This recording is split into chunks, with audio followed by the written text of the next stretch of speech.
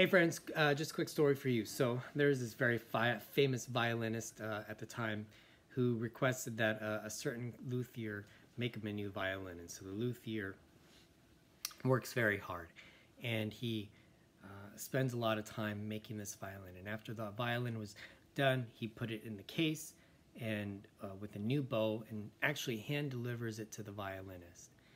The violinist, upon inspecting it, sees that it's a beautiful Uh, beautifully made violin, a lot of great artwork, and he puts it up to his chin, starts to play it, and within 30 seconds, you could tell by his face and his body language that he did not like the violin. In fact, he hated it.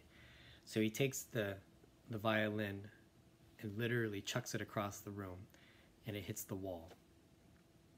Luthier, who had hand delivered this violin himself, was crushed. He takes the violin, he places it back into its case along with the bow, and leaves, thinking, okay, I'm just going to destroy this violin. I'm humiliated. But after some time, he takes the violin, he looks at it, he realizes that it can be restored. And so he places a new bridge on it, a new chin rest, and the tuning pegs. He, uh, he sanded down the parts where, that were scratched and, and where areas where he had to do a little bit of uh, extra uh, woodworking care, he, he was able to take care and fix it and basically restore it. Now, a year later, the violinist thinking, well, I just want to try again this company. So he asks the luthier to make him a new violin, and so he does, and comes back, but he doesn't bring just that violin. He also brings the violin that he restored, and he places them before, and he says, play this one first, and it was the old violin. Violinist opens it up the case and looks at it. He says, "Oh, beautiful." Plays it and he says, Man, this is amazing. The tone is great. I'd like to take this one. I don't even care about the second one. And the violin, the, the luthier says, I'm glad you've chosen to do so. Just know that this is the first violin that you threw across the room. The violinist, obviously, he's ashamed because he realized, you know, how childish he had acted before and he, he apologizes.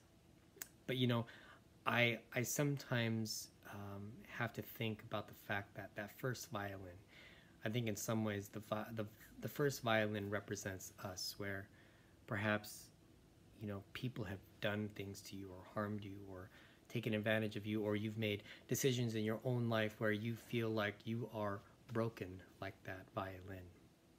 The violin had suffered uh, damage to the bridge and the chin rest and the pegs and some it didn't feel it, it wasn't whole. And so the luthier literally had to go back and work on it. And i'm i'm i'm reminded of a verse in First peter 5 where it says and the god of all grace who called you to his eternal glory in christ after you have suffered a little while will himself restore you and make you strong firm and steadfast.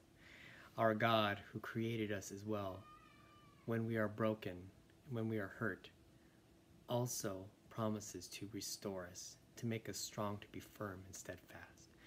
So I don't know where you are at. Maybe you're doing well, but also maybe you are also struggling. You're mentally just stressed and challenging. Maybe you're having thoughts that are not healthy and negative. And I want to encourage you if you need to, don't be afraid to reach out for help to someone that you trust.